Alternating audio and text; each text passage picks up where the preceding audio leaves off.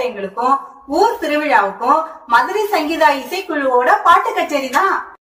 பழைய பாட்டு நடுத்தர பாட்டு புதுப்பாட்டு பிரமாதமா நடத்துவாங்க.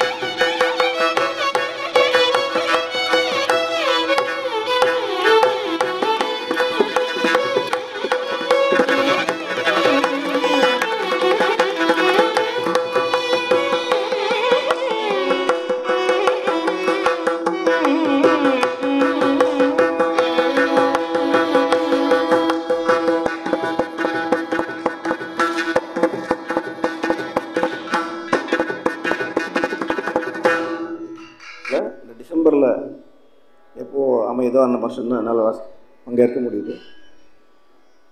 அந்த விதத்தில் ஒரு மூணு வருஷத்துக்கு முன்னால் என்னோடய ஸ்டூடெண்ட்ஸையும் நான் இங்கே அறிமுகம் பண்ணேன்.